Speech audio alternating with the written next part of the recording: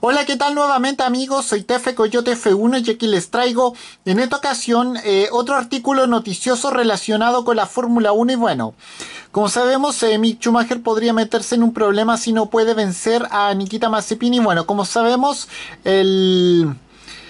El ex corredor británico David Coulthard confía en las cualidades del joven corredor alemán y bueno, vamos a hablar de aquello. Bueno, si bien es cierto que durante los días recientes y semanas la polémica y las críticas eh, fueron lo único que sonó acerca de Nikita Mazepin, eh, no hay que olvidarse de que el corredor ruso, pese a llegar a la Fórmula 1 con mucho dinero detrás, no es un piloto lento ni, ni mucho menos. Bueno, si se dice que Nikita Mazepin podría no ser el compañero de escudería más adecuado por distintas razones, seguramente sea algo que sea algo que no sorprenda a nadie y es que y además hay que recordar que Mick Schumacher mostró su verdadero potencial en, la en su segunda temporada en la Fórmula 2 cada vez que eh, ha llegado a una nueva categoría en 2021 va a trabajar va a tener que trabajar eh, aún, aún mucho más duro. Bueno,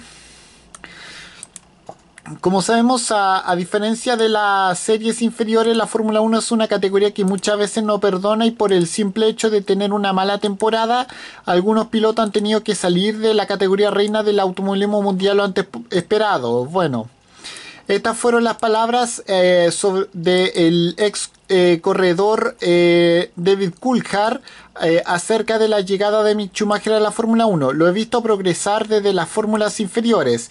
Es un piloto concentrado en forma, en forma y muy, muy hambriento. Puedes regalarle a alguien un gran coche o un gran equipo, pero si no, si no tiene la habilidad no hará, no hará nada. Bueno, y además el ex corredor británico de Fórmula 1 eh, confía en que Mick Schumacher pueda ganar su primer duelo en la máxima categoría ante un Nikita Mazepin que llega con la presión por las nubes. Y esto fue lo que dijo.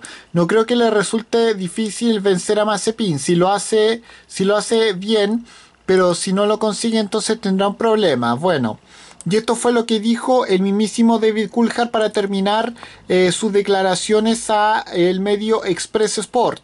Si le vence, entonces será exactamente lo que espero.